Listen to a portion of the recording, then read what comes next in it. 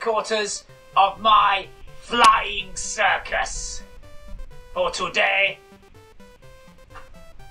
we set forth to conquer the air. Today, the air, tomorrow, the moon. We will design a superb aeroplane. Our scientists back in Germany have been working very hard, and we will take off. And with our Fokkers, we shall scourge the Allies from the skies. And it'll be alles Uber for Weihnachten. He likes. So, get your engines ready. Make sure your synchronization gear is in place. And let's do it for the Kaiser!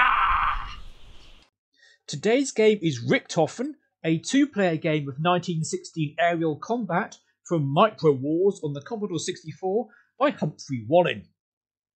One, one German and one Allied aircraft take each other on in the skies over northern France.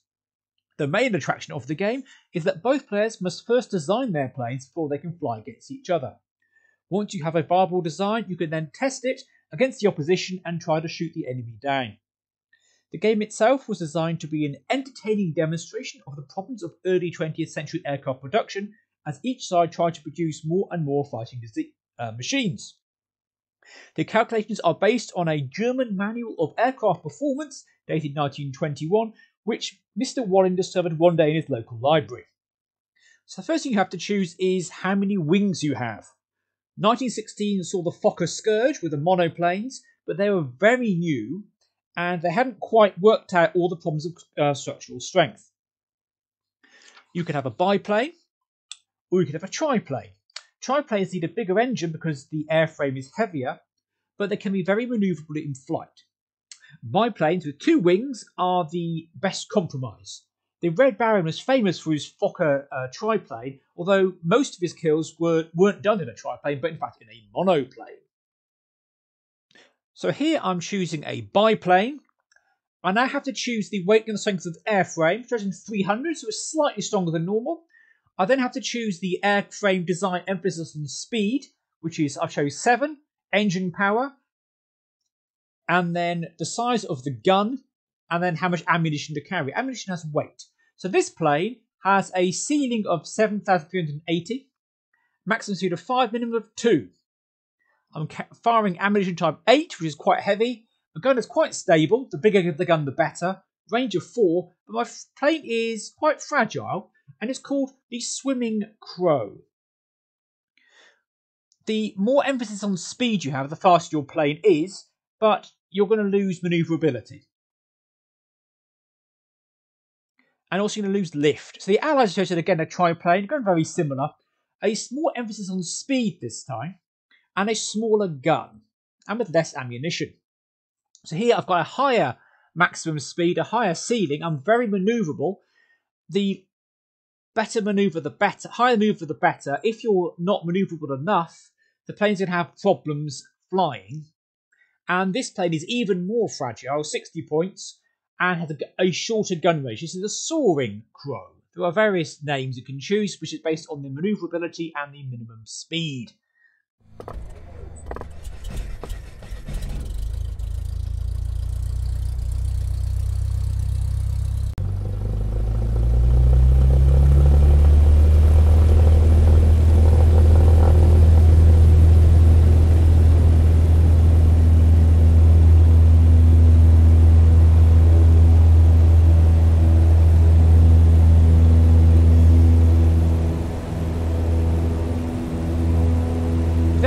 Try taking off. On the left, you have the Allies. on the right, you have the Germans, because the Allies could be French, could be British, could even be um, the Canadian and Australians are included, could even be Americans fighting, flying for the uh, La- Escadrille Lafayette. So here on the left, the Allies are taking off. Their speed is increasing. They are the top row, and they're moving along the runway. Nice speed of four, and they're not taken off yet. And they've now taken off height of 500, speed of two. Excellent. Their minimum speed is two.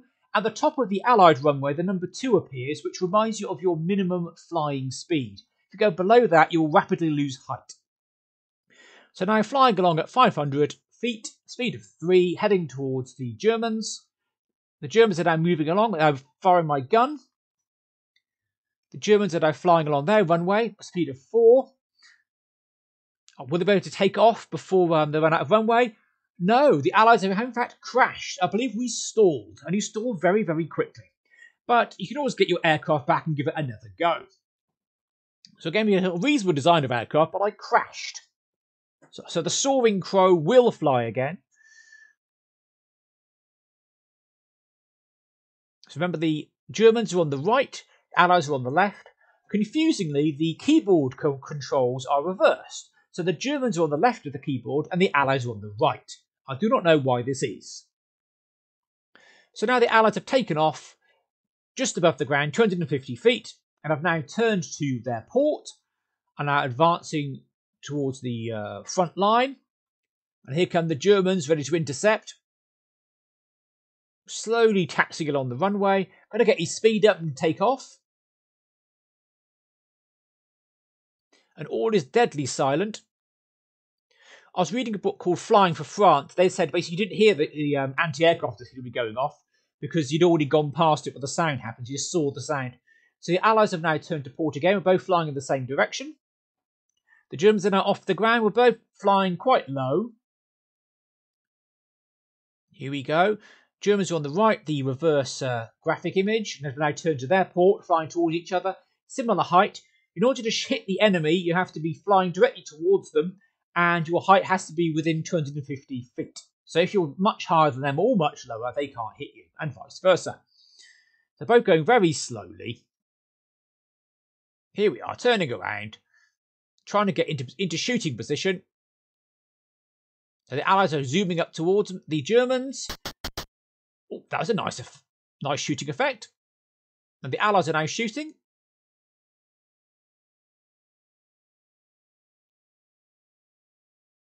No sound for the Allies, curiously, but what sound for the Germans? Whether that's based on the caliber, I don't quite know. The Allies are now turning away. Oh, and the Germans have fired back. And here is a, a sequence of commands. Those are the commands you've entered in. The get string command on the Commodore 64 is a bit flaky. So now let's try again a different design. This is the Singing Eagle this time. We're going to try some basic aeronautics.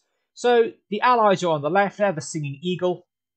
Currently at a height of 8,000 feet, and they're going to increase their height to see what we get. Anti-aircraft artillery could fire quite high quite early on, up to 13,000 feet in some of the sectors of the front. So certainly increasing our height. Every time you increase your height, your speed reduces. If your speed reduces too much, you will stall. If you stall, your plane graphic is replaced with the at symbol. The screen is wrap around in both directions. So you can, if you fly off the left, you appear on the right and vice versa, like a very small world. If you run out of ammunition, you can restore it to full if you return to your hangar, which is you have to be at ground level on the runway with a speed of zero. Then your ammunition is topped up and you can then turn around and take off again. So here my height is not 99,000 feet, but in fact 9,900. I've reached um, 10,000 feet, which is above my ceiling, and it's now dropped me down to 9,900. But the formatting isn't quite right. I've now stalled very quickly and crashed possibly too quickly. So now I'm going to try for a nice clean landing. I'm now shooting along the runway. I'm heading north, height of 750 feet.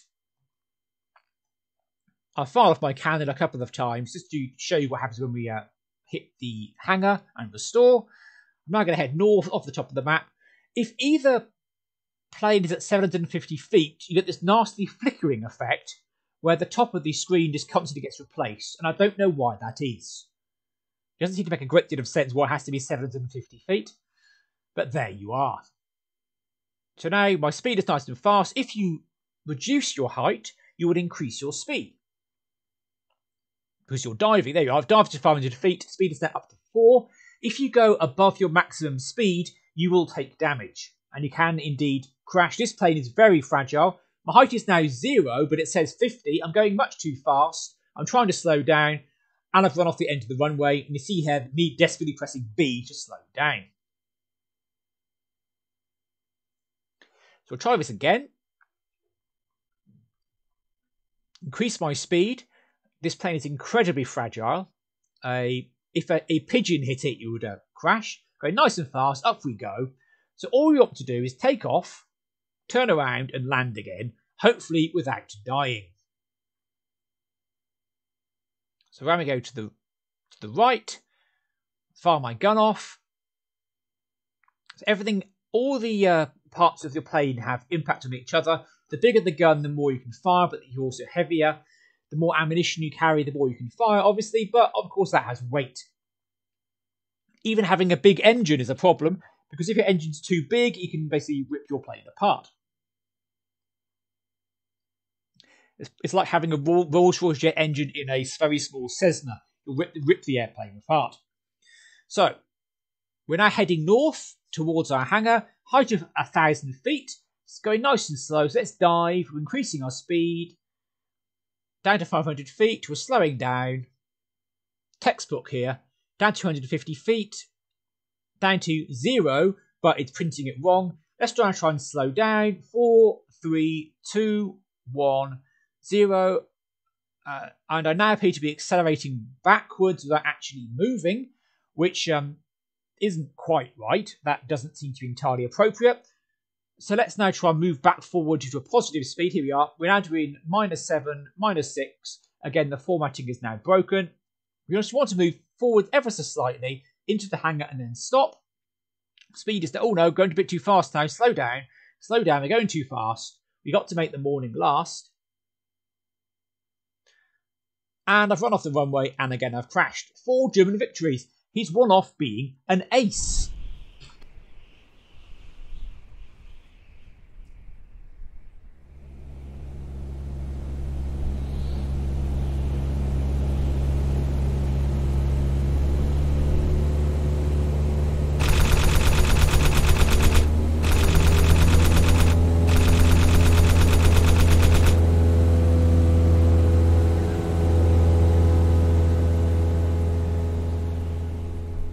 So this is version 2 of the game. Not much has changed so far, but I've put in some error checking in the aircraft design. Aircraft design is a key part of the game and it's rather well implemented, except they didn't put any error checking in. So basic design, monoplane, biplane, triplane, 1, 2 or 3. There's no checking that you entered 1, 2 or 3, or that you just press enter at all. So I put in basic checking for that. Same with the airframe. I went to here 400 to 250's average, should be from up to 100. You could just put enter in and then get all kinds of strange problems. So you're trying to design an airplane and all the factors interfere with each other in interesting ways. So this plane has got a it's pretty fast. It's, it's uh, a little bit heavy on the manoeuvring, but so manoeuvrability, the higher the worse. So some of my commands won't work. Press any key to continue. And press any key generally here does mean any key. But when you get to the you've done it wrong, you idiot, try again, it is not press any key, it is just wait. However, the Commodore 64 in this implementation stores your key presses. So if you're pressing enter, enter, enter, enter, enter because you want to get on with the design of plane, you'll then go back into the whole loop of, oh, you press enter already, and it gets annoying. That's why I fix those. So here we've gone for a triplane. Now, triplanes are slower but more manoeuvrable. The strength of the airframe to your resistance if it's too low. So here I've put in my strength of airframe is 10. That's ridiculously low. So no, the minimum is 100. It says so on the screen. So what about a thousand? Let's go for some armoured airframes. There were some armoured planes in World War One. Um, often they armoured the front if they were meant for uh, ground attack. So it's gone for a design on lift rather than speed, but a very powerful engine. And let's go for a massive gun. No, you can't put a railway gun on a plane, James. Try again. But they did have some planes with 20mm cannons on them. And how much ammunition do you want? Well, you can't have no ammunition because that's just stupid. So let's have five bursts. So this plane has a ceiling of 6,000, but its maximum speed is minus 14. It's far too slow to fly. You cannot have a flying fortress in World War One. So here, though, you have to wait until the game lets you go forward. You can't just press enter to continue. So you go around the loop again. Extra error checking went into the names you get. He mentions the best plane you can get is the Unbeatable Angel, except those words do not exist in the game. It's also possible to have a game where the name breaks the game or is just blank. So I've had the the blank, which doesn't make a lot of sense. So fix some of those. Also, it's possible to have a plane with a resistance of zero, which is basically falling about on the runway, but not actually falling apart. So here, the plane has a maneuverability factor of zero, which is excellent. Maximum speed of nine, minimum of two, which is you know lots of variety. You've got a bit of choice in your speed. Unfortunately, this plane is basically made out of wet paper and will just fall apart on the ground. Lots of things affect resistance. The bigger the engine, the lower resistance, but it can increase the weight of your airframe, but then that takes away from your takes away from your speed and your ceiling. I've also changed Allied to Entente. Um, the Entente uh, was the relationship between uh, Britain and France, which seems a bit more World War One than the Allies. World War One was more complicated. Of course, you had Entente, you had allies, you had associated powers. But when America joined the war, they were an associated power. Belgium were not part of the Entente, but they were fighting on our side because the war was in Belgium. Belgium were very insistent on their neutrality. Here's our plane. Got a better plane now. Highly manoeuvrable, ceiling of 12,750. Well done, us. My effective gun range is 5, and the, this plane is the Soaring Wasp, which is a much nicer than the poking about crow we had before. So here we start the game. I decided that looking down on the ground, the ground in France is not blue. I've gone for brown, considered the mud of the Western Front. In the middle we have the trenches. On the left, as before, we have the Allies, who, who are now blue, who are blue. On the right, we have the Germans, who are now red. Only the Red Baron is red, once you start off, you get an engine sound. The engine sound, thought you know, it gives it. I stole that from Dogfight, which is by um, also by Humphrey Walwyn and another chap in the 60 uh, games of the Commodore 64. You've, I've covered that before. I thought nicked the basic sound. I then changed it based on the speed. And unfortunately, the German aircraft has crashed off the end. We have total on-top victories of one, do you want an old aircraft back? Yes, we can. That means we get another go. Or if you if you say no, you go back to the drawing board and the loser gets to design a brand new plane. So the trenches in the middle are sprites, background sprites. The clouds, which either go up or down depending on the wind, are foreground sprites. So the planes will go behind the clouds and can therefore hide in them. The planes themselves are not sprites, they are just characters just displayed on the screen by poking poking a character on the screen on the Commodore 64 is actually quite simple. And there's the firing. I fixed a minor irritation. I swapped over the position on the keyboard of the German and the Entente controls, so the Germans are now on the right and the Entente on the left. So now flying over the over the trenches as our speed increases. If you push your speed above your maximum, you'll take damage and drop back down. So the Germans are there zooming along at high speed just turning there with the clouds. You can see them just about behind the clouds. Going up, turning to port, doing a sneak attack on the Allied on the Entente airfield, which are going a little bit fast to try and capture it. So round to the right, then to the left. And hopefully I can get him in time. And I've overshot. One thing the designers note, and my reading on Wikipedia confirm, is that because planes at the time used rotary engines, there was always a bit of a pull to the right. So going to the left was considerably, considerably more difficult than going to the right. And the Sopwith Camel in particular was deadly because a turn to the right would always often lead to a drop in the nose as well. So generally recommended don't do that. So I've now shot the Allies on the ground, the Entente on the ground, I should say, not the Allies. So the sound works for both both players, and it's reasonably attractive, I think. It's good progress. Also fix some bugs where the sound could be negative. So here the Allies have now taken off. In order to take off, you must be above your minimum speed. The Germans have a higher minimum speed, their minimum speed is 3. A safe takeoff can be attempted once you get to 4, because lifting off immediately drops your speed by 1. So if you're at minimum speed and you take off, you'll, you'll just crash. Which is a bit of a problem. I was unable to fix the number formatting issues in version 2, nor in version 3 for that matter, but one step at a time, as we say. The screen is wraparound in both directions, so there's the Allies zooming on, and with this trying to sneak up on the Germans. The Entente, I should say. They were allies, but I like to say the Entente, this feels more World War One as opposed to World War Two. The Allies are now, the Entente are now behind the Germans, and have shot him down. And again, you go back to you have you know you get victories whenever you crash. Your victories are reset, and the loser gets to go back to the drawing board, which is historically accurate, I suppose.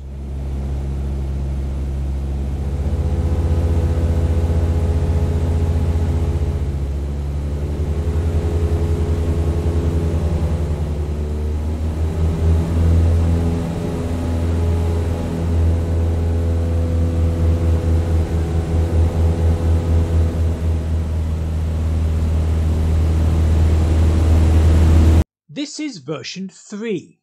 I wanted to add a little bit more, and on reading Flying for France, he described how lovely France looked from the air, how lovely and green all the nice fields and forests. Then you got to the front, and you got this rather nasty sort of brown area where everything was dead.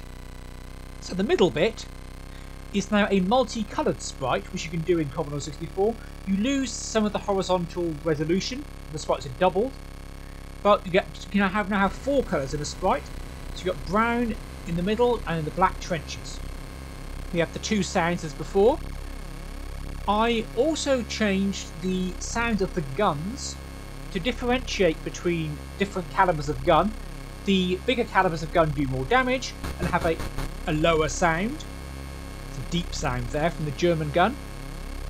And the, uh, the Entente gun, which I shall fire in a moment, should have a higher sound. It's very small.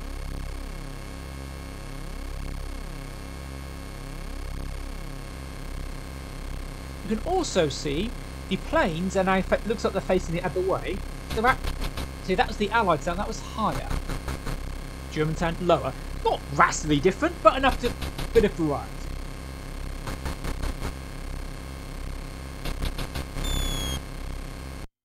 So now the German pilot has crashed. The German pilot killed in crash, it says, because he died over on my side. And this is a victory for the Rocket Swallow, it mentions the name. We have a little French flag, and we've run out of memory.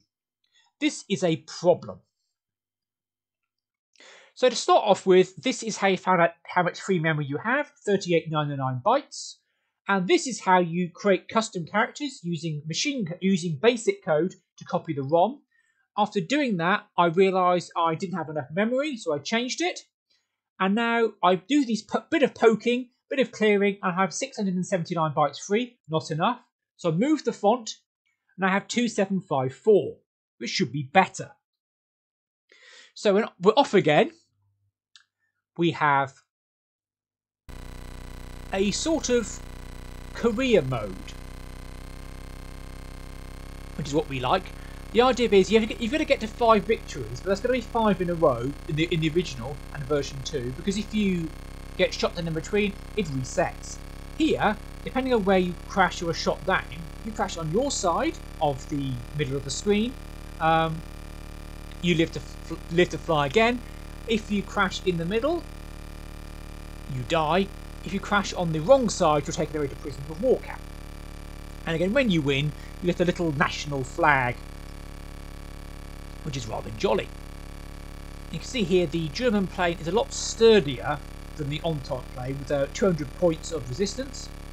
And this actually does matter because the bigger guns do more damage, so it's not just one shot kill.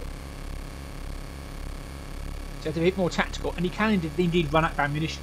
But the German plane only has three bursts. Probably because it's got, got a heavier gun. So we have two different sounds for the plane, different sounds to the gun based on caliber. We've got different characters, different colours. The planes are different colours now. We've got we've moved off the reverse nonsense.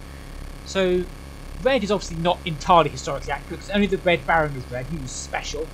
But the German pilots did like to have much more multicoloured planes than the, than Entente, who were based went more for camouflage.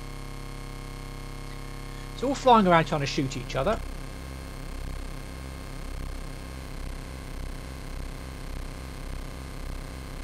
Go.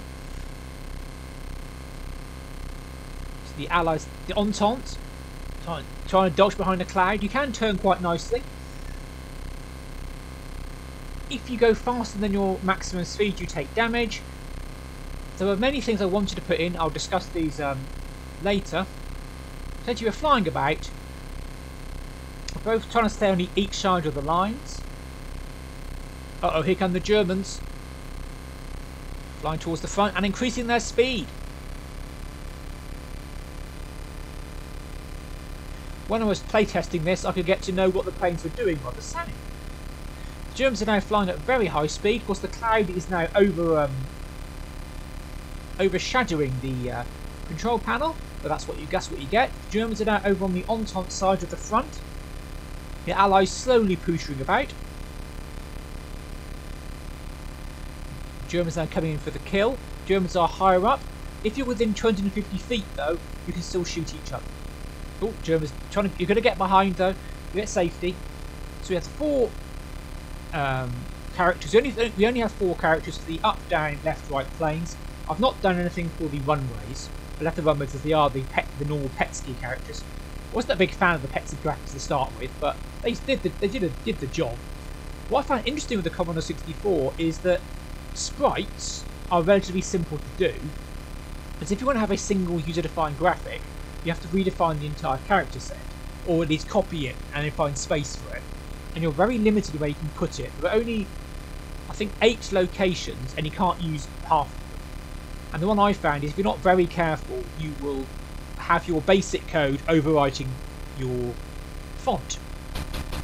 Ooh, that's a big boo, that's a big gun.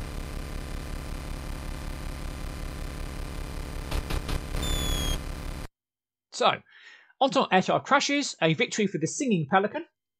And again here, as the Germans get more and more victories, their flags get bigger and bigger.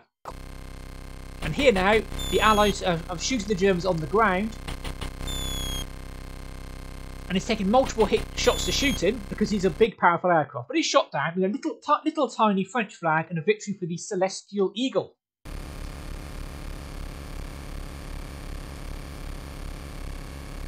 Now we're flying against each other. Again, we're showing the difference between the quite weedy um, Entente gun and the bigger German gun, just as the German chose a bigger caliber. Again, because the German crashed on his side of the lines, he lives to fly again, and you see here the number of counts don't reset. But here, the Entente captain's been shot down on the wrong side of the line and is off to the prisoner of war camp. The German flag gets bigger, and here, if the French get five victories, it is a victory, proven yourself an ace pilot, huge French flag, and Marshal Joffre pins the medal on you, which is nice. Marshal Joffre being the commander in chief of French forces until the end of 1916. This game is set in 1916, not any later. Now, the Allies are flying at 2,000 feet, and what they're going to do is show you it's stalling. So two and a half thousand feet, we'll keep increasing, and now we're alternating between the plane and the at symbol, and each turn our height is dropping by 500 feet, about to crash into no man's land, and have died. This results in five victories for the Germans, and the Kaiser himself gives you the Blue Max, the Pour le Mérite medal of the Prussians. And at the end, we have 29 bytes free.